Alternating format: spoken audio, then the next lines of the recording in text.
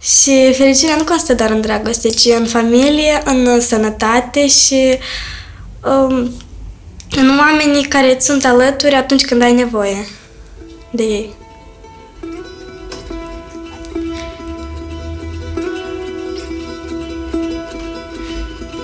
Atunci ești fericit.